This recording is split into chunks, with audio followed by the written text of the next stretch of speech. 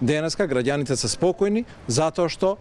нашата ориентација кон интеграција во Европската Унија останува загарантирана од ова парламентарно мнозинство, од оваа влада и не извојува победа регресивните сили кои што всушност не посакуваат Македонија да биде во НАТО, не посакуваат Македонија да биде во Европската Унија, не посакуваат Македонија да има добро соседски односи, не посакуваат Македонија да има многу добри односи помеѓу албанците и македонците и сите други заедници. Сите тие